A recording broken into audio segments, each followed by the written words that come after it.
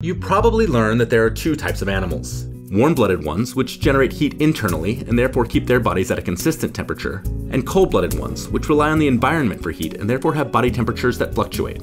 But that's basically wrong. I'm David, and this is Minute Earth. When you try to actually categorize animals by their temperature regulation strategies, they don't fit neatly into two buckets. Let's take a look at how animals generate their heat. Mammals like humans and bears and hedgehogs mostly generate their heat internally, putting them over here. But other mammals, like naked mole rats, have mostly lost that ability because they live in underground chambers with natural year-round climate control. So let's put them over here. And while many reptiles and invertebrates and fish have to get most of their heat from their surroundings, and thus go here, some, like honeybees and tuna, can also use their powerful muscles to generate heat internally. So they go closer to the middle. Honeybees can actually generate so much internal heat that they can collectively cook invading hornets. So how animals generate heat is way less of a split than a spectrum. But wait, the ostensible purpose of being warm-blooded, that you'd keep your internal body temperature consistent, doesn't hold true either.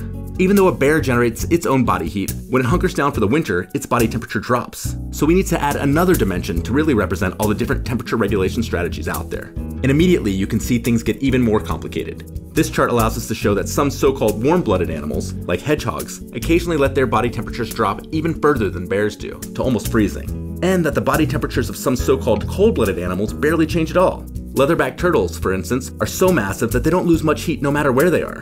And you can even see that your human body temperature isn't always constant. It does vary a bit over time.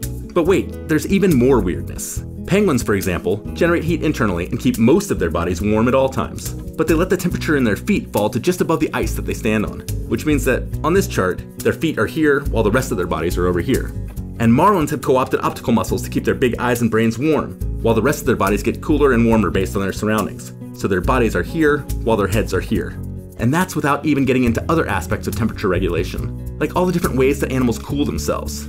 So why do we continue to try to lump all of these diverse strategies into just two buckets? Well, the same reason we tend to divide lots of animal traits, like their diet and their intelligence and their mating system, into discrete categories, despite the fact that they don't actually fit into those boxes. We divide them because of historical inertia and because human brains like to label things in black and white terms, even when the truth is often more complicated. In order to truly understand what's going on, though, we need to disregard those very human sentiments and instead follow the facts. That is, sometimes even so-called warm-blooded animals have to be a little cold-blooded.